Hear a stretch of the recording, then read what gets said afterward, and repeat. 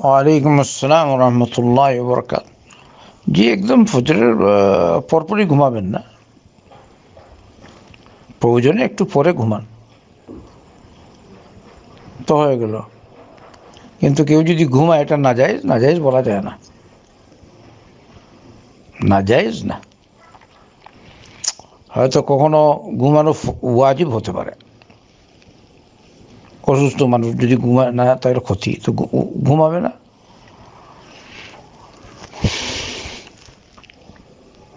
আল্লাহ পাক বলেছেন মিন আয়াতি মানামুকুম বিল্লাইলি ওয়ান নাহার وابتغاؤكم من فضله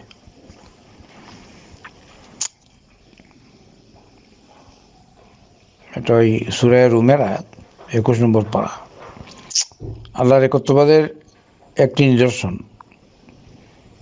তোমরা দিনে রাতে ঘুমাও। মানাম মানে নোম। ঘুমানো।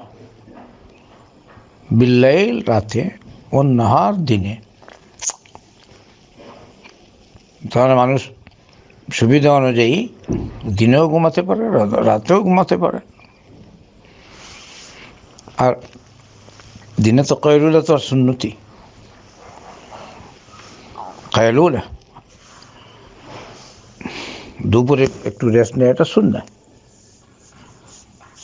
তাহলে ঘুমালে যে ক্ষতি হয়ে যাবে বা এরকম এরকম কিছু নাই অথেন্টিক বর্ণনা মধ্যে হয়তো বলা যাবে সকালে না ঘুমানোটা ভালো। ওই জন্য একটু পরে ঘুমানো ভালো। সূর্য ওঠার পর প্রথমে উপরে ঘুমানোর একটু পর।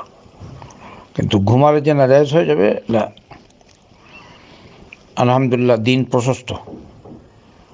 কিন্তু মূল ঘুম হবে রাতে। এটাই হলো আসল।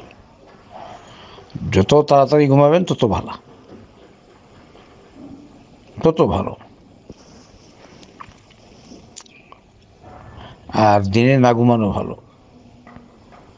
কিন্তু প্রয়োজনে মানুষ ঘুমাতে পারে। মনে কি আছে, রাত রাত্রে ডিউটি দিনে ঘুমায়, তো অসুবিধা কি?